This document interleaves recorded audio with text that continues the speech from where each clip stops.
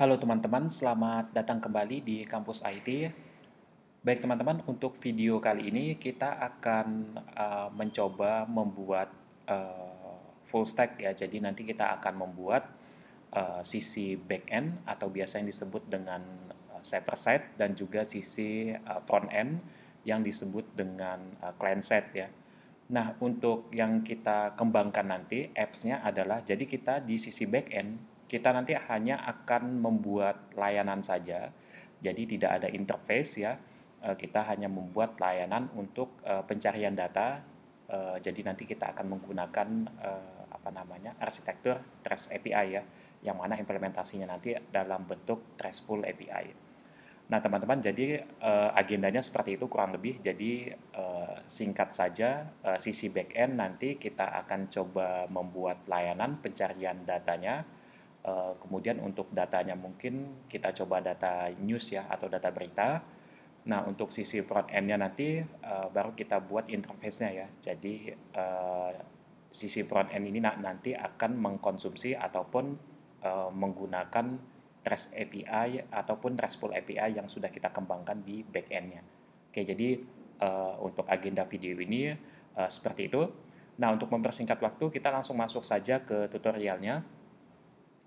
Oke, jadi ada beberapa yang teman-teman perlu persiapkan di sini nantinya. Yang pertama adalah uh, mungkin kita perlu memperhatikan versi karena saya tidak menggunakan versi terbaru ya di sini. Jadi saya menggunakan versi lama.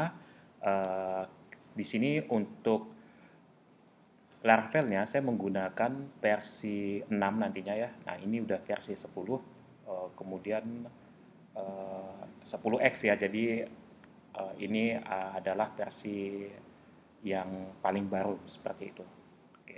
Nah, nanti saya akan menggunakan versi 6 ya seperti biasa, saya akan menggunakan yang versi 6, yang versi 6 yang stabil ya.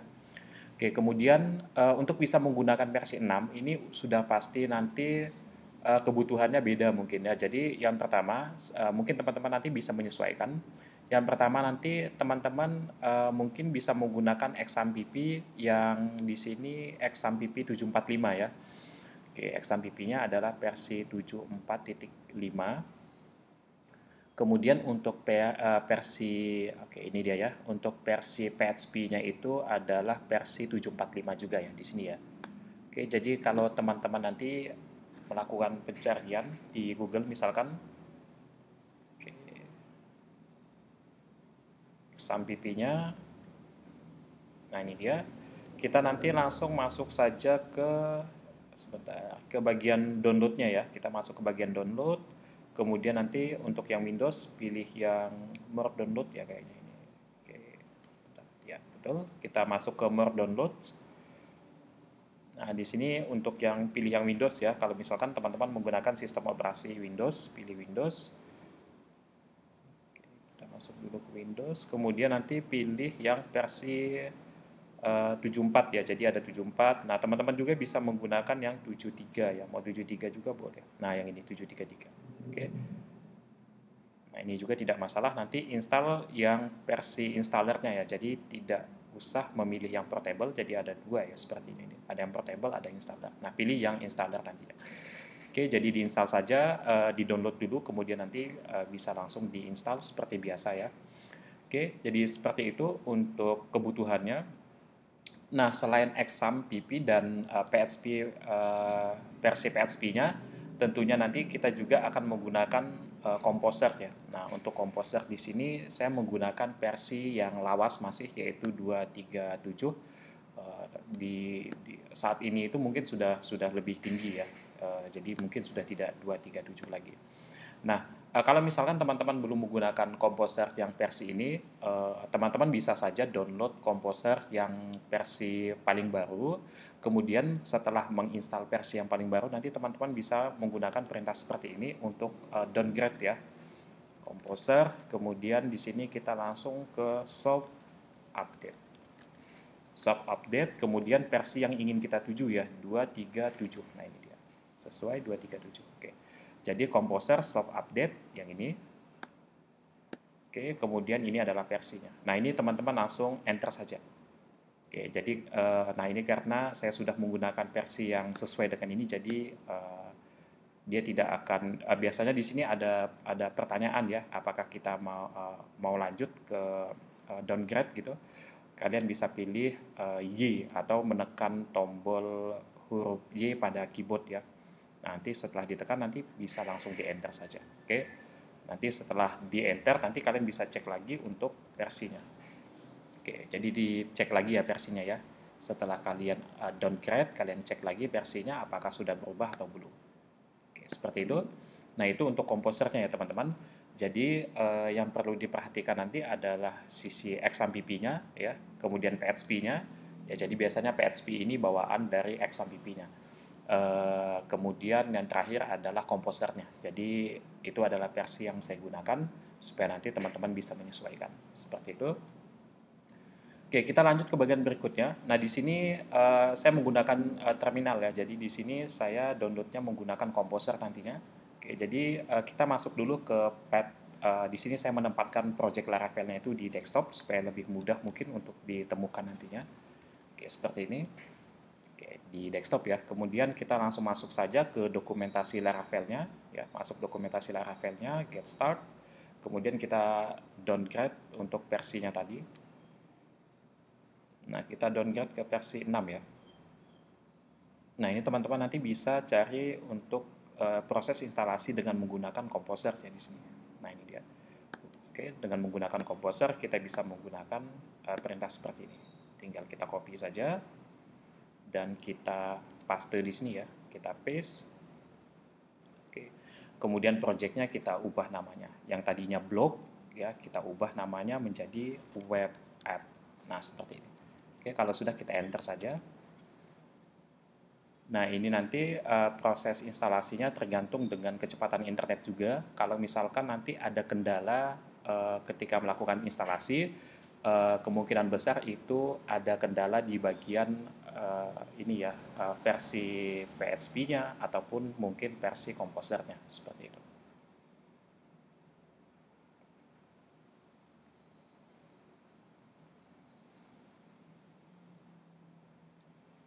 Oke, kita sudah berhasil ya ini. Uh, kalau teman-teman perhatikan, di sini kita sudah punya uh, satu buah project yang sudah kita create tadi dengan menggunakan Composer. Nah, sekarang saya masuk dulu ke dalam project yang kita buat ya. Kalau saya buka, uh, kalau saya masuk, kita ls. Kalau di Windows itu nanti bisa menggunakan dir ya. Nah, di sini ada satu buah project ya. Nah, ini dia web app ya, atau satu buah directory atau folder kita masuk dulu ke dalam web app-nya. Saya langsung cd aja, kemudian masuk ke web app seperti ini. Nah, ini saya sudah masuk ya di sini, sudah masuk ke web app-nya. Kemudian kita langsung code aja, kita buka uh, project kita ke Visual Studio Code-nya ya. Oke, seperti ini. Kita close dulu. Ini adalah project yang sebelumnya.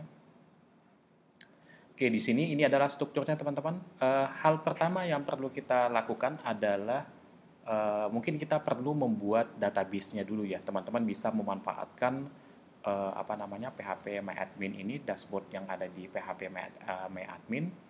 Nah, di sini teman-teman bisa langsung create saja database-nya. Jadi teman-teman hanya perlu membuat database-nya ya. Misalkan di sini uh, saya buat database-nya misalkan db Eh, kampus IT misalkan. Nah, seperti ini. DB kampus IT kita create. Oke, udah jadi ya. Jadi kita hanya perlu membuat database-nya saja, tabelnya kita skip dulu ya teman-teman karena untuk membuat tabelnya nanti kita memanfaatkan yang namanya uh, migration ya yang ada di Laravel. Seperti itu. Oke, uh, setelah kita berhasil membuat database, nanti teman-teman bisa langsung masuk ke bagian config-nya ya. Di sini uh, atau kita masuk ke .env-nya saja ya di sini .env teman-teman pilih bagian db database yang di sini sebelumnya Laravel kita ubah sesuai dengan nama database yang uh, barusan kita buat ya. Jadi di sini namanya adalah db campus IT nah seperti ini kita save. Jangan lupa di save ya. Oke kalau sudah di save kita close lagi. Nah jadi untuk di bagian env-nya cuma itu saja. Kita hanya perlu menambahkan uh, bagian nama database-nya saja. Ya seperti itu. Nah, kemudian kita masuk ke bagian berikutnya. Jadi tadi kita kan sudah buat database tapi tidak dengan tabelnya, ya, tabel di database-nya. Nah, di sini kita akan membuat database dengan menggunakan uh, migration ya, teman-teman. Nah, teman-teman bisa masuk ke Laravel-nya dulu. Teman-teman nanti bisa buka ke bagian uh, database ya, menu database, kemudian pilih yang migration. Oke, pastikan teman-teman di sini uh, menggunakan versi yang 6 ya Oke, jadi untuk membuat migration, teman-teman bisa menggunakan perintah seperti ini. Kita copy saja, ya. Kemudian nanti kita paste di terminal VS Code kita, ya. Jadi tidak perlu di terminal ini lagi ya. Oke, kita buka terminal di VS Code-nya. Oke, ini terminal ya. Nah, di sini pastikan, nah pastikan teman-teman sudah masuk ke dalam uh, project-nya ya. Nah, ini adalah project-nya web app. Oke, kalau belum silahkan masuk dulu dengan menggunakan uh, perintah cd tadi ya. Oke, kita paste saja di sini untuk perintah migration-nya. Kemudian, nah ini untuk penamaan uh, filenya nanti ya. Jadi di sini karena kita mau buat uh, berita, jadi mungkin saya buat uh, berita atau news gitu aja. Nah seperti ini. Oke, jadi create news table. Ya, jadi uh, ini adalah nama filenya nanti ya. Oke, untuk nama tabelnya nanti adalah news. Kita akan cek di bagian database-nya di sini. Nah, kita cek ke bagian migration ya. Nah, di sini kita sudah punya default uh, default untuk filenya ada tiga. Kita coba jalankan perintah ini. Kita enter saja ya. Oke, jadi udah bertambah satu ya ini ya dia. Create news uh, table. Nah, ini dia. Oke, kita buka uh, file yang barusan kita buat ya di sini create news table ini ya. Uh, apa namanya file migrationnya kita buka. Oke, pastikan yang kita buka adalah uh, apa namanya file yang barusan kita buat ya teman-teman. Karena di sini ada tiga defaultnya, jangan sampai nanti teman-teman salah buka. Oke, seperti itu. Nah, jadi di sini uh, kita tujuannya adalah ingin membuat tabel ya. Nah, tabel itu kan ada strukturnya. Nah, di sini kita bisa membuat struktur tabelnya. Yang pertama defaultnya itu ada uh, eh, ID sama timestamp ya. Jadi ID itu untuk ID-nya, jadi nanti auto increment. Kemudian timestamp itu untuk waktunya, create dan update-nya ya. Oke, jadi di sini sudah ada tiga tabel ya, uh, tiga atribut. Ada tiga atribut ya nanti. Kita tinggal perlu menambahkan uh, dua saja. Jadi keperluannya itu uh, kalau saya itu cuma dua saja. Jadi nanti kita hanya perlu menambahkan uh, tabel untuk uh, judul ya. Untuk judul itu mungkin kita nanti bisa menggunakan string ya. Nah, seperti ini judul. Untuk panjangnya mungkin kita set 50 untuk panjang judul beritanya nanti ya. Kemudian yang berikutnya kita perlu kontennya ya, isiannya. Uh, jadi isiannya itu nanti menggunakan teks. Kemudian namanya kita buat apa ya? isi berita atau narasi saja ya. Nah, seperti ini. Narasi Oke, jadi kalau untuk tipe teks itu tidak ada panjangnya ya. Jadi kalau misalkan di sini kita tambahkan panjang uh, datanya mungkin akan bermasalah. Saya coba dulu mungkin. Nah ini tidak bisa ya. Jadi untuk yang teks itu tidak ada panjang datanya. Oke, jadi kita hanya perlu menambahkan dua atribut saja ya teman-teman, yaitu judul dan narasinya atau isi uh, beritanya ya atau kontennya itu nanti. Oke, seperti itu. Nah, kalau sudah untuk e, nama tabelnya nanti adalah news ya. Jadi nanti di sini dia akan mengenerate e, atributnya sebanyak 5 ya karena timestamp ini akan di-generate sebanyak dua atribut seperti itu. Oke. Kita masuk ke terminal dulu, kita clear dulu ya. Oke. E, kita langsung buat perintah e, oke bukan buat ya, kita copy aja perintahnya. Jadi perintah untuk melakukan migration itu sudah ada di sini ya Nah, ini dia PHP Artisan Migrate ya. Oke, kita copy ya, kita copy, kita paste di sini. Kita paste. Nah, di sini uh, kalau saya menjalankan ini, artinya nanti saya akan menjalankan empat atribut ya, teman-teman. Uh, sorry, bukan empat atribut, tapi empat file migration. Nah, sedangkan kebutuhan saya itu hanya satu file saja yang ingin saya generate gitu ya, yaitu uh, file uh, create news table ini. Nah, sehingga saya akan uh, saya perlu menambahkan uh, flag di sini ya, yaitu flagnya bentuknya pad seperti ini. Kemudian untuk bisa masuk ke file ini, saya perlu ke database dulu. Ya. Database, kemudian slash, kita masuk ke migration. Nah ini dia migration, kemudian saya masuk ke filenya. Nah ini filenya namanya panjang, strateginya saya coba menggunakan fitur rename. Saya Ctrl Alt, uh, Ctrl A, kemudian saya copy. Nah kemudian saya paste di sini. Oke, seperti ini ya. Oke, kalau sudah yakin, kita langsung enter saja. Nah, ini udah berhasil ya. Kita sudah berhasil melakukan migration untuk eh, apa namanya? Untuk file create news table ini ya. Jadi kalau sudah berhasil, kita cek untuk eh, apa namanya tabelnya apakah ada ya di dalam database ini. Kita reload dulu. Oke, di sini kita tadi punya database-nya namanya adalah DB Campus IT. Nah, ini dia. Oke, kita sudah berhasil di sini, kita sudah berhasil membuat tabel news. Jadi uh, jadi nanti itu ada dua tabel yang tercipta yaitu migration ya. Nah, itu ini mungkin untuk history atau lognya. Kemudian yang berikutnya adalah tabel news. Ini adalah tabel yang memang kita inginkan. Untuk strukturnya sudah sesuai ya, jadi ada judul dan narasi yang saya tambahkan. Sedangkan ID, create, and update ini adalah defaultnya. Seperti itu. Oke, jadi tabelnya sudah berhasil kita kembangkan. Nah, kemudian selanjutnya kita akan uh, Oke, ini kita close dulu ya. Jadi kita close karena kita sudah berhasil melakukan migration, uh, kemudian kita langsung masuk ke bagian seedingnya atau uh, ke bagian seedernya ya di sini. Nah ini dia di seednya ini. Nah, di sini defaultnya itu ada database seeder, tapi kita nanti akan membuat seeder baru ya, file seeder baru. Oke, kita clear dulu. Kalau misalkan migration tadi uh, tujuannya adalah untuk membuat tabel di dalam database. Nah, kalau seeder ini uh, kita gunakan untuk menambahkan data atau insert data. Nah, biasanya kan kita insert datanya dari sini ya, fitur yang ada di sini. Tapi dengan uh, tapi Laravel itu sudah menyediakan fitur untuk insert data melalui uh, seeding ini ya atau seed atau seeder ini. Oke, seperti itu. Nah, cuma nanti kita agendanya adalah ingin menambahkan sebanyak 100 data, teman-teman. Nah, sehingga nanti kita mungkin perlu menggunakan pustaka Packer ya yang uh, yang sudah ada yang tinggal nanti bisa kita gunakan. Oke, jadi kita langsung masuk ke sheet-nya dulu. Di bagian seeder, uh, kita akan membuat sheet baru ya di sini ya. Kita uh, ke dokumentasinya dulu. Teman-teman nanti bisa masuk ke bagian seeding. Nah, setelah masuk ke seeding, kita langsung buat saja seedernya dengan menggunakan perintah ini. Kita copy dulu, kita paste di sini ya teman-teman. Kita paste. Nah, ini dia. Untuk nama seedernya saya buat saja uh, news seeder Nah, seperti ini ya, new seeder. Oke, kita enter saja. Oke, nanti di sini akan nambah dia. Nah, ini dia. Jadi adalah ini adalah file seeder yang sudah berhasil kita buat ya. Di dalam file seeder ini ada satu buah metode atau function uh, ada di sini function run ya.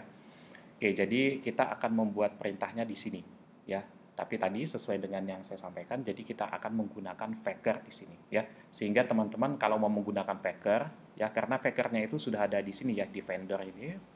Kemudian di sini sudah ada Packer PHP ini ya. Nah, jadi kita uh, bisa langsung gunakan saja. Ya.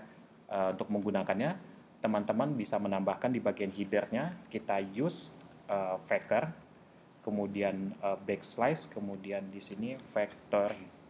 Nah, ini dia as faker ya. Nah, seperti ini. Oke, kita save dulu. Jadi uh, ini gunakan backslash ya teman-teman. Oke, kalau sudah seperti ini, kita langsung uh, buat variabel di sini untuk menampung apa namanya? Uh, untuk menampung pustaka atau uh, library ini ya. Nah, ini saya panggil saja as fakernya ya. Yang kita panggil adalah yang nama aliasnya ini fakernya. Kemudian di sini kita panggil metode create. Nah, ini dia create. Seperti ini. Oke, seperti ini saja. Ya, jadi uh, sebenarnya di sini kita bisa tambahkan lokali ya. Jadi lokali itu kalau kita masuk ke faker PHP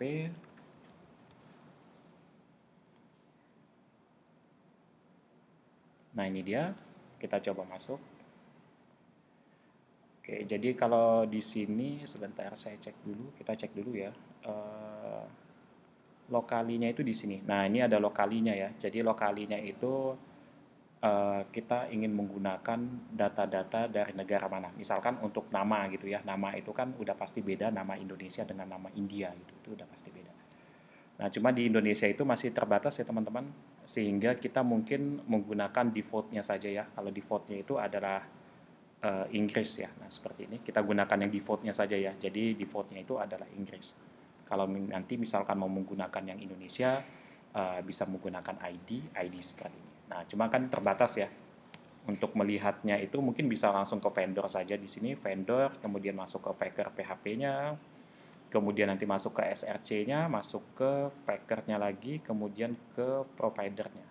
Nah, ini ada banyak ya. Nah, ini kode-kodenya. Ya, kalau Indonesia itu ID, ID. Nah, ini dia. Oke, kita gunakan yang default saja ya, teman-teman. Uh, Oke, kita lanjut. Uh, seperti ini saja mungkin cukup. Nah, kemudian saya akan buat looping di sini atau perulangan karena kita ingin uh, melakukan uh, menambahkan uh, data damisnya itu atau data fake-nya itu sebanyak 100 gitu ya. Saya buat variabel i sama dengan 1 dimulai dari 1, kemudian dolar i itu kurang dari sama dengan 100. Misalkan kalau ingin menambahkan data sebanyak 100. Kemudian buat incrementnya di sini dolar i plus plus. Nah, seperti ini. Oke, kalau sudah tinggal kita masuk ke dokumentasi Laravel lagi ya. Jadi di sini ada nah ini dia sudah ada perintahnya ya. Kita tinggal copy saja. Kita copy. Nah, kita paste di dalam sini, di dalam perulangan ini sebagai statement ya dia. Nah, kita paste di sini. Oke, kalau sudah atribut yang ada di sini itu sesuaikan dengan atribut yang kita miliki ya. Jadi kalau kita lihat di sini kita cuma punya dua atribut yang ingin kita isi ya. Kalau ID itu kan tidak perlu karena auto increment, create add sama update itu tidak perlu ya. Jadi uh, tidak masalah karena di sini boleh nol nilainya atau value-nya. Nah, yang perlu kita isi hanya judul dan narasinya saja. Oke. Jadi kita hanya perlu menambahkan judul di bagian ini, judul dan narasi seperti ini. Yang password kita hapus karena kita tidak tidak punya atribut dengan nama password.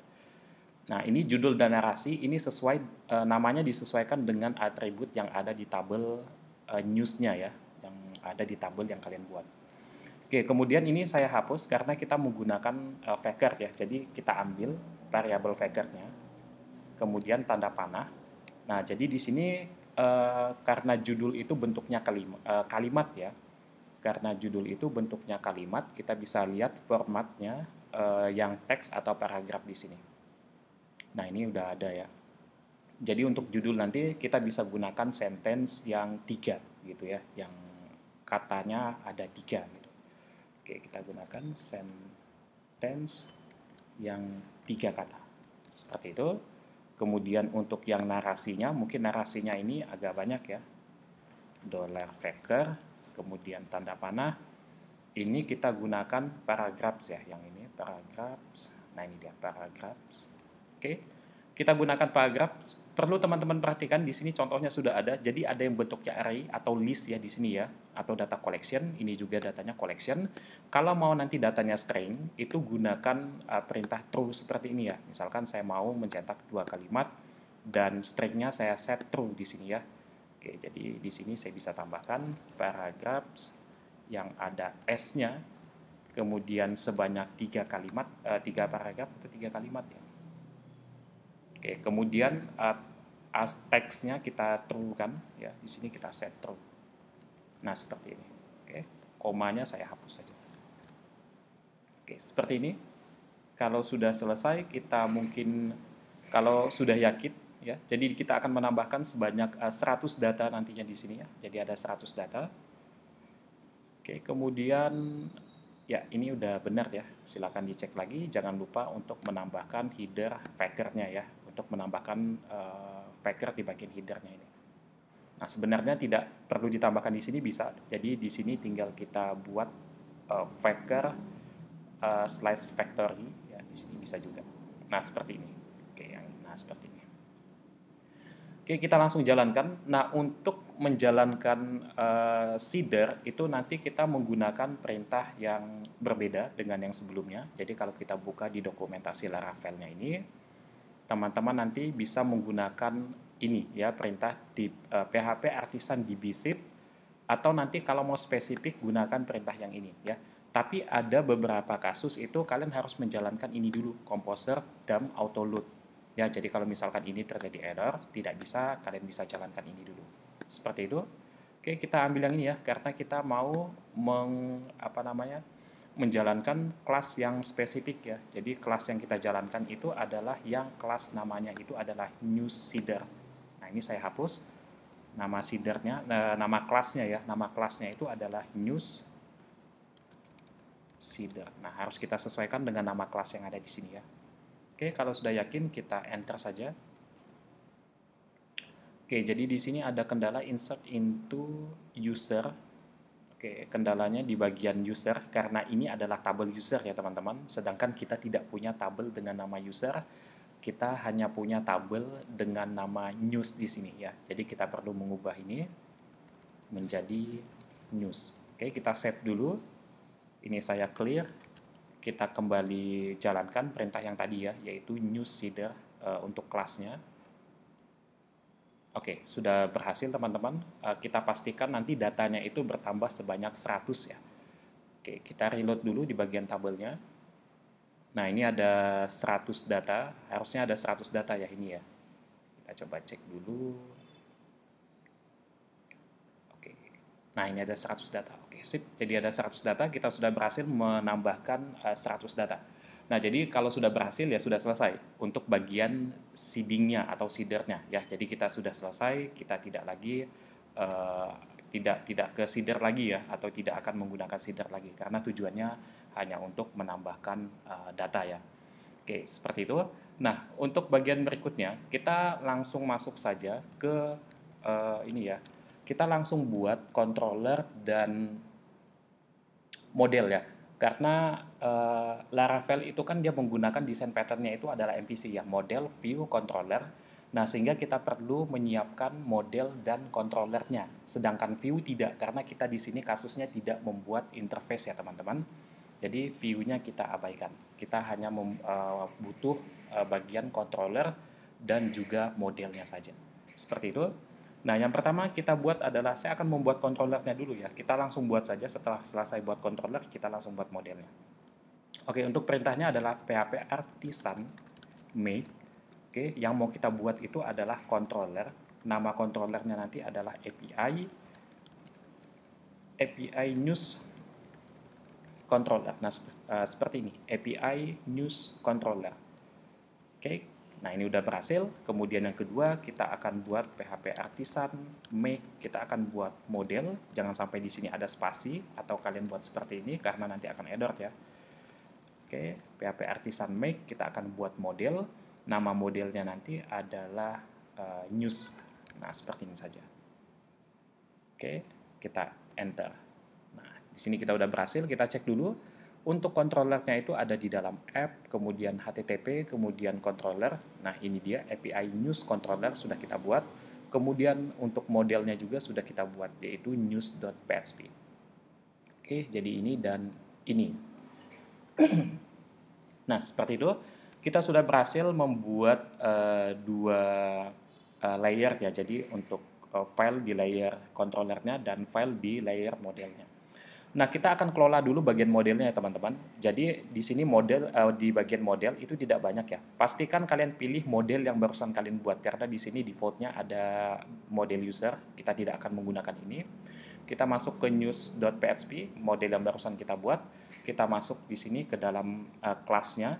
Kita bisa menambahkan di sini protected, kemudian dollar table, Kemudian di sini adalah nama tabel yang mau kita acu ya, yaitu tabel news. Nah, jadi nanti untuk model news dia akan mengelola tabel news. Jadi uh, semua yang berhubungan dengan uh, tata kelola atau uh, manage di bagian tabelnya ya uh, perubahan data, penambahan data, penghapusan dan semuanya itu nanti dikelola oleh model uh, news ini ya seperti itu. Karena kita hanya akan menamp uh, hanya menampilkan data, jadi kita hanya perlu ini saja ya. Nanti case-nya akan berbeda kalau misalkan kita uh, akan melakukan penambahan data ya. Nah ini bisa disimak di video uh, Laravel backend ya. Oke, untuk bagian ini kita cukup ini saja teman-teman. Jadi hanya ini saja ya. Nah untuk mengujinya mungkin kita perlu menggunakan uh, Tinker ya di sini. Kita PHP artisan Tinker. Nah seperti ini kita coba menampilkan data dulu ya, apakah bisa uh, dengan menggunakan model ini. Jadi app, kita masuk ke app-nya dulu, kemudian backslash uh, nama modelnya ya. Nama modelnya adalah news. News, kemudian kita panggil uh, data pertama saja di sini dengan menggunakan metode first. Nah, seperti ini. Ya. Oke, saya enter saja. Nah, jadi ini adalah uh, data pertama ya data dengan ID ke satu. Nah, kalau kita perhatikan data ID ke satu yang ini. Oke, nah ini sesuai ya. Jadi datanya adalah data pertama. Kalau menampilkan semua data mungkin nanti bisa diganti dengan all ya. First ini bisa diganti dengan all. Oke, seperti itu artinya model kita sudah berhasil uh, dan bisa kita gunakan nantinya. Oke, kita exit dulu di bagian tinkernya. Oke, exit dulu. Jangan lupa exit ya. Kalau tidak exit nanti kemungkinan ya tidak bisa untuk menjalankan perintah-perintah berikutnya. Kita exit dulu. Oke, kita udah exit ya ini, udah goodbye. Kita clear lagi. Oke, model kita sudah selesai. Jadi mungkin akan saya close saja supaya tidak mengganggu. Nah, mungkin untuk bagian ini adalah bagian yang intinya karena ini adalah bagian di mana kita membuat uh, Trustful API-nya ya. Oke, jadi ada tiga file yang akan saya buka di sini. Uh, file yang pertama itu adalah di bagian notes-nya, ya. Saya akan uh, menggunakan uh, ini ya, file API. Sorry. Nah, kita akan nanti uh, membuat routingnya itu di file api.php ya, di dalam routes. Oke. Kemudian yang kedua adalah controllernya. Nah, kita tempatkan di sini. Oke, seperti itu. Ini akan saya tutup supaya mungkin tidak membingungkan nantinya. Nah, seperti ini. Jadi ingat ada dua, ada file api.php yang ada di bagian root ya, uh, root yang ini ada di bagian root dan file API news controller yang ada di app, kemudian ada di HTTP dan ada di controller. Ya, seperti itu. Oke, kita langsung uh, buat saja di sini untuk bagian API-nya di api.php di bagian routingnya Uh, saya tidak akan menggunakan autentikasi ya di sini. Kita akan langsung masuk saja, tidak ada API key-nya juga. Uh, jadi ini adalah yang basic sekali ya, yang sederhana sekali. Oke, kita akan buat route-nya di sini. Route, kemudian kita get, ya. Nah di sini uh, kita buat request-nya. Jadi nanti kalau ada request seperti apa, maka nanti dia akan uh, apa mengirimkan datanya gitu ya.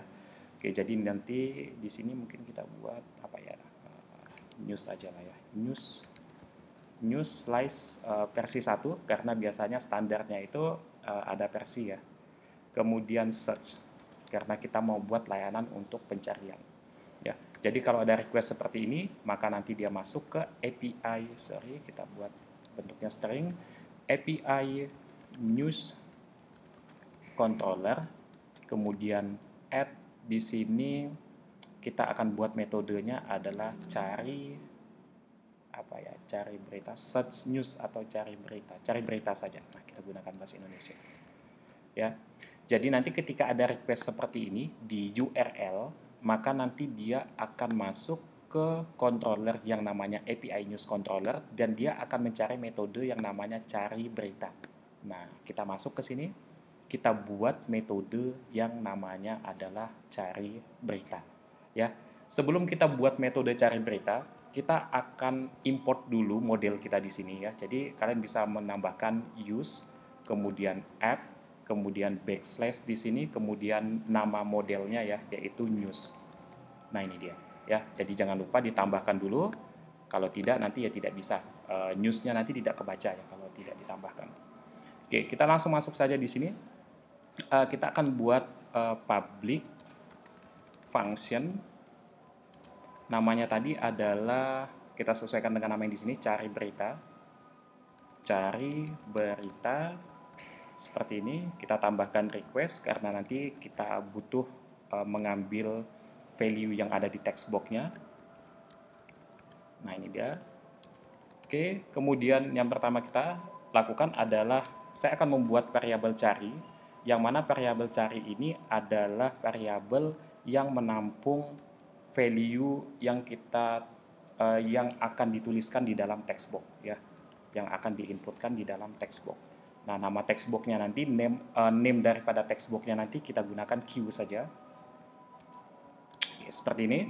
Nah, kemudian kita langsung masuk ke saya akan buat variabel kedua. Ini adalah variabel untuk menampung hasil pencariannya ya. Nah, misalkan di sini apa ya namanya? Uh, berita, berita aja ya. Berita atau news. News sama dengan kita panggil modelnya. Oke, nama modelnya bukan berita tapi news. Oke, titik dua. Ya, bisa ya. Nama modelnya adalah news. Ya, benar. Nama modelnya adalah news. Kemudian kita menggunakan close where di sini karena untuk query eh, apa namanya pencarian itu dia menggunakan like ya. Nah, kita mau melakukan pencarian berdasarkan apa? Ya, jadi di sini kita sudah punya judul, jadi kita melakukan pencariannya nanti berdasarkan judulnya. Judul seperti ini, koma, kemudian kita menggunakan kata kunci like ya. Ini adalah query dalam uh, query untuk pencarian. Kemudian di sini kita akan tempatkan uh, kita akan panggil variabel carinya ya. Cari ini. Kemudian kasih persen di sisi kanan dan sisi kirinya. Nah, jadi ini kata yang kita cari itu boleh di mana pun, boleh di tengah, di kiri, dan di kanan. Seperti itu. Oke, kalau sudah tinggal kita tambahkan panah, kita tambahkan metode get untuk nanti uh, supaya kita bisa menampilkan datanya. Oke, seperti ini. Oke, kalau sudah kita langsung buat if. If ini untuk pengecekan apakah data yang dicari itu ada atau tidak, gitu ya. Jadi if dollar news uh, metodenya apa ya is empty ada tidak ya nah ini dia apakah ada atau tidak gitu ya. Kalau misalkan ada uh, sorry sebentar. Uh, kalau misalkan tidak ada maka dia akan mengirimkan respon di sini. Oke okay, sorry. Respon JSON respon. Nah ini dia. Kalau misalkan tidak ada dia akan mengirimkan respon berupa oke okay, ini dulu. Uh, responnya nanti itu adalah berapa ya? 400 misalkan ya kalau respon gagalnya ya ini. Kemudian di sini yang dikirimkan nanti bentuknya adalah array uh, kemudian arraynya apa ya di sini? Key-nya yang pertama sukses seperti biasa lah ya. Kita pakai yang biasa aja ini. Oke suksesnya false.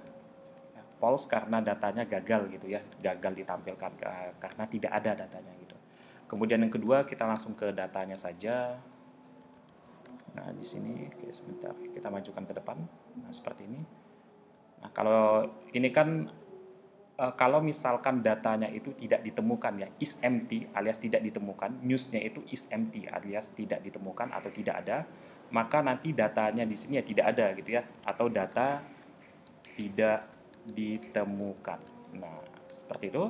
Ya jadi di sini uh, responnya false gitu ya. Kemudian uh, eh, HTTP respon code-nya 400 ya. Ini respon untuk kesalahan atau kegagalan gitu oke kemudian untuk else-nya ya. Jadi else-nya ini yang berhasilnya. Tinggal kita panggil saja respon JSON-nya respon JSON-nya di sini header-nya kita buang saja.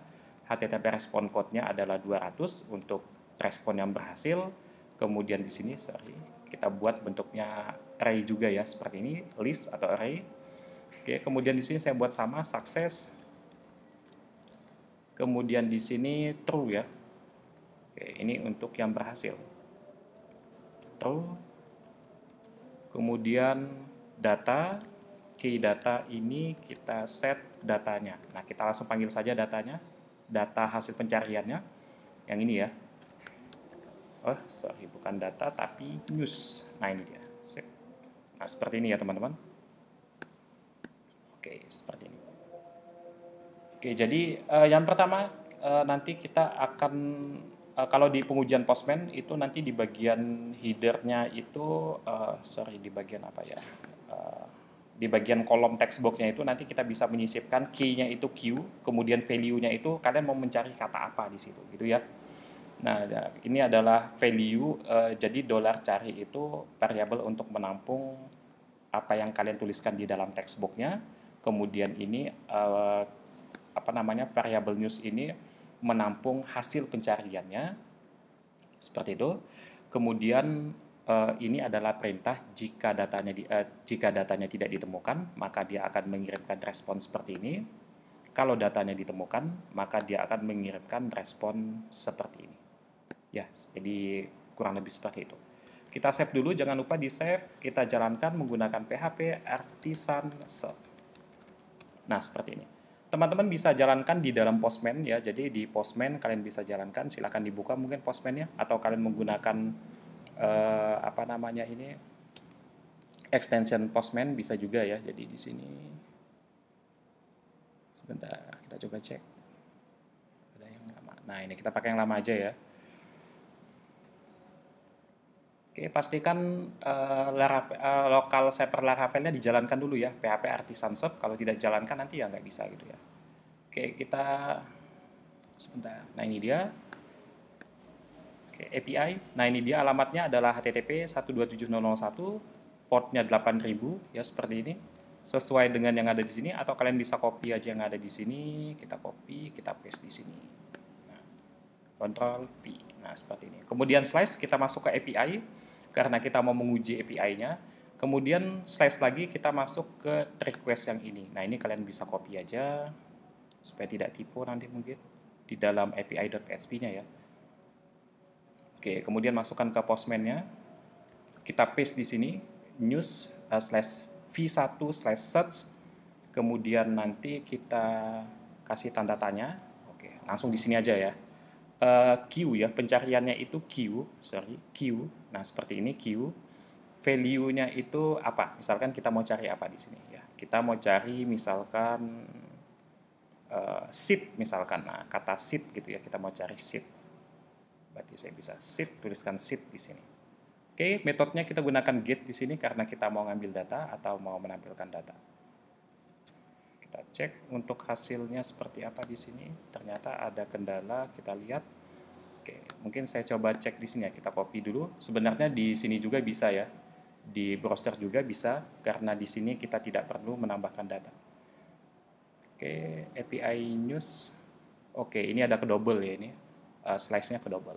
Nah, ini dia datanya berhasil, berarti di sini kesalahannya itu slice-nya kedouble. Nah, jangan sampai kedouble slice-nya zoom ini bisa di zoom tidak? Oke bisa di zoom ya. Nah ini alamatnya jangan sampai nanti tipe ataupun salah gitu ya untuk bagian ini. Oke jadi seed ini adalah kata yang ingin kita cari ya di situ. Key ini dari mana? Key itu adalah ini. Nah ini key-nya. Name ya name di textbooknya. Oke, seperti itu. Oke, kalau misalkan di sini kita cari siapa? Misalkan uh, kakak kakak misalkan. Kita send kalau tidak ada, harusnya dia menampilkan false, data tidak ditemukan. Ya, betul. Karena memang mungkin datanya tidak ada gitu ya. Oke, kemudian kita mau cek pencarian data apa lagi di sini. Uh, apa ya ini? Oke. Kui ya misalkan, kui. Nah, seperti ini kita send, kita coba cek apakah datanya ada, true ya, berarti kalau true itu datanya ada. Oke, yang ID-nya 3, ID-nya 4, lumayan banyak datanya. Seperti itu. Oke, nah, pengujian di browser juga boleh, kalau misalkan teman-teman belum punya Postman, ya silakan dilakukan pengujian di browser. Tinggal kalian nanti tambahkan tanda tanya ya, kemudian tambahkan query string-nya, Q itu untuk key-nya, seed itu untuk value atau nilai yang ingin kalian cari ataupun judul yang ingin kalian cari. Misalkan mau cari judul berita apa? Misalkan berita tentang uh, game misalkan seperti ini ya. Nah, cuma sayangnya di sini kan game tidak ada. Ya, atau mau kita ganti? Coba saya ganti mungkin salah satunya di sini game game. Oke, kita coba cari ya. Ketemu nggak ya? Kita coba cek dulu. Enter. Nah, ada ya game. Nah, ini yang barusan saya ubah. Oke, jadi seperti itu teman-teman. Uh, untuk proses pengujiannya kalian bisa menggunakan apa pun ya. Jadi nanti bisa menggunakan Postman, Insom ataupun melalui browser juga bisa.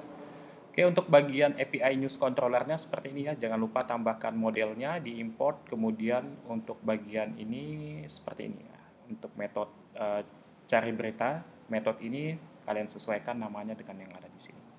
Ya, seperti itu. Oke, nah ini tadi sudah saya sampaikan. Ya, seperti itu. Ini HTTP respon code, nanti bisa kalian cari di Google ya. Ada banyak, ada 1xx, 2xx, 3xx, sampai 5xx. Ya, seperti itu. Kalau 2, uh, 2xx itu 200 contohnya itu berhasil ya. Tapi sebenarnya ada banyak ini, ada 201, 202, dan sebagainya. Oke, jadi seperti itu teman-teman. Untuk uh, bagian berikutnya, uh, silahkan kalian kembangkan kembali. Kalau misalkan ada kesalahan atau error ataupun apa pun itu kalian bisa tuliskan di kolom komentar. Oke, jadi nanti kalau misalkan uh, bisa saya bantu akan saya bantu ya seperti itu. Oke, terima kasih semuanya. Sampai ketemu lagi di video berikutnya karena di video berikutnya kita akan menyelesaikan bagian client setnya ataupun bagian front end-nya. Nah, di sini kita sudah berhasil membuat Trustful API-nya, kemudian akan kita consume, akan kita patching datanya di bagian front end. Terima kasih, sampai jumpa di video selanjutnya.